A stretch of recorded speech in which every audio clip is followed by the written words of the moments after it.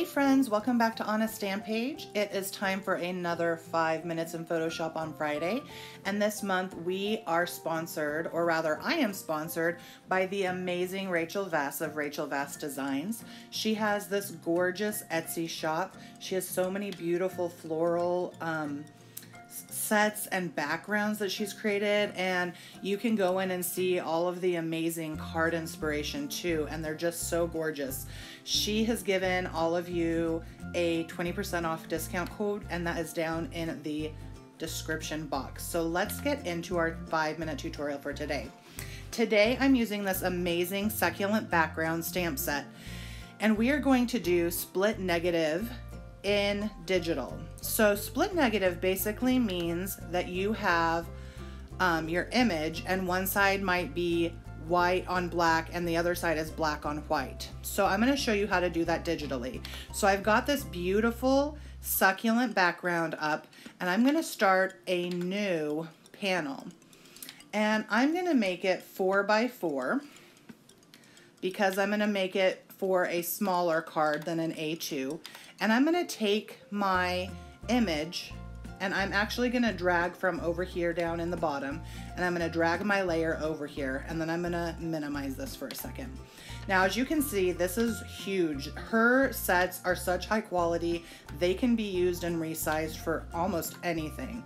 And I think that's amazing. I love when I'm able to do that with different sets.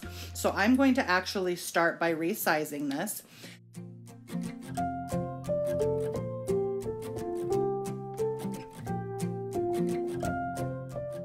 I like to have my bounding boxes. That's this thing around here that has the little um, squares to show me exactly where it's at. So I can see that right here it's right in the middle, right here it's right in the middle. So this is perfectly centered. Okay, so this is gonna be my first layer that has the black on white. And we're going to start a new layer now.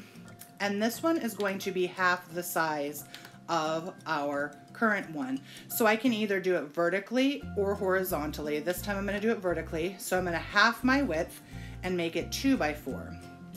And what I'm gonna do is I'm gonna come over here and I'm gonna drag this layer over to here. And I am gonna have to make sure that again, it is right where I need it to be.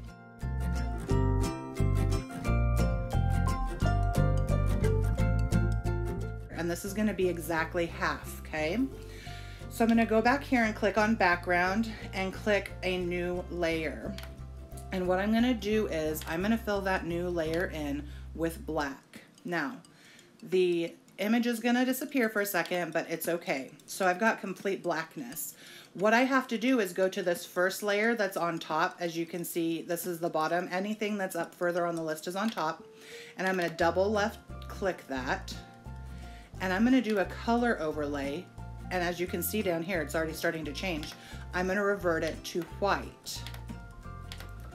And now I have my split negative of my white with black. So I'm gonna save this. I'm gonna save this as background black white. And I'm gonna save it as a PNG. Now the reason I'm doing that is because I'm gonna keep this to show you different colors with, but when I open this back up, this PNG is gonna be able to be moved into here as one piece and I can perfectly match it up. Again, by making sure everything is one half, one half, one half and now I've created a split negative in Photoshop.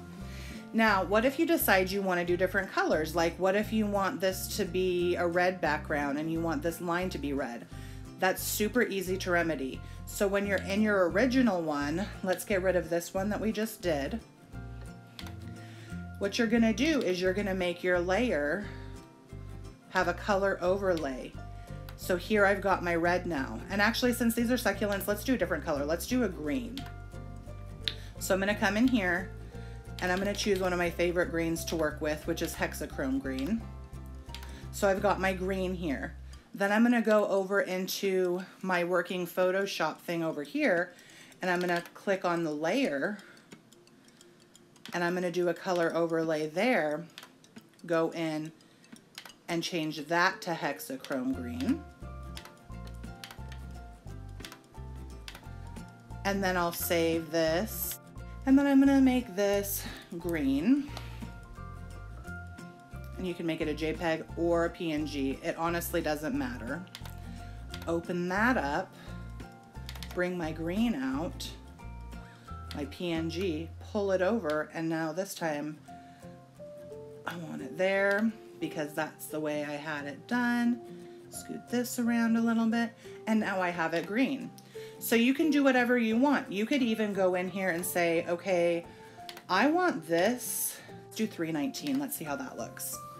I always make note of what number is. Oh yeah, 319, because I'm gonna need it when I come over here and do 319, okay? So over here, what's gonna have to happen is I'm gonna have to make this layer, instead of it being white, I need it to be that 319 with the green is already there. And then I'm gonna save this as green turquoise. Green turk is what I'm gonna call it. Open that back up, grab that. And now I've done two different colors. So you can do it in two different colors in, instead of just black and white or white or black in another color, which I absolutely love. So that is my five minute in Photoshop tutorial for today. I hope you enjoyed it. Please stop by Rachel Vass Designs, grab some goodies, and I will share with you my card that I finished creating with this beautiful succulent background set here at the end of the video. Until next time, hugs and happy stamping friends. Bye.